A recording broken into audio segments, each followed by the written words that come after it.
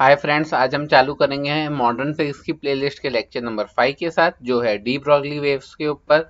Video चालू होने से पहले एक डिस्क्लेमर और एक रिक्वेस्ट प्लीज़ आप चैनल को सब्सक्राइब कर लीजिए और हमें 1000 सब्सक्राइबर्स के मार्क को रीच करने में मदद कीजिए एज सुन एज पॉसिबल और वीडियो अगर आपको पसंद आए तो प्लीज़ लाइक भी कर दीजिए वीडियो को।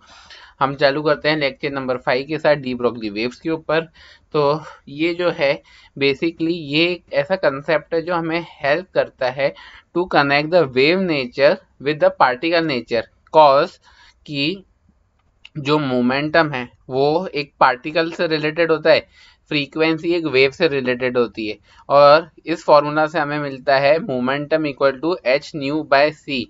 Okay, H जो है वो इक्वल होता है six point six two six into ten power minus thirty four के बराबर।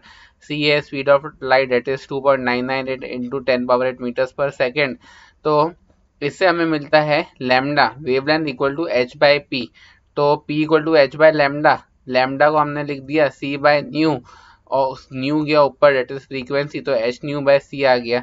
अब lambda equal to H by P में हमने पी को लिखा एम वी और हमने इधर गामा इंट्रोड्यूस कर दिया that is a relativistic factor and it is equal to one by under root of one minus V square by C square V जो है, वो है velocity of the particle okay अब हम एक क्वेश्चन लेते हैं कि एक 46 ग्राम्स का एक गोल्फ बॉल है मान लीजिए। ओके उसकी वेलोसिटी दी हुई है 30 मीटर्स पर सेकेंड तो उससे हमें वेवलेंथ कितनी मिल जाएगी? एच बाय पी कर लेते हैं। तो पी को लिख दिया एम वी एच हो गया six point six two six into ten power minus thirty four joules per second divided by M क्या है?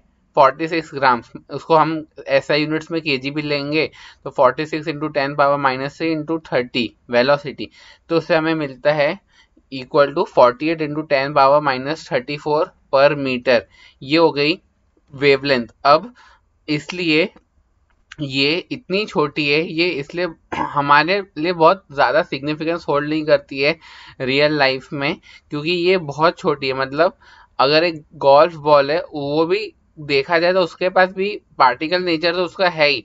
ओके जो हम नॉर्मली न्यूटोनियन मैकेनिक्स से सॉल्व कर रहे होते हैं, पर उसका एक वेव नेचर भी है जो हम इस डीप रॉगली वेव्स के कंसेप्ट से निकाल सकते हैं, और ये इतना छोटा है इसका वेवलेंथ मतलब सॉरी हाँ वेवलेंथ कि ये हमारे लिए ज़्यादा सिग्निफिकेंस होल्ड नहीं करता है।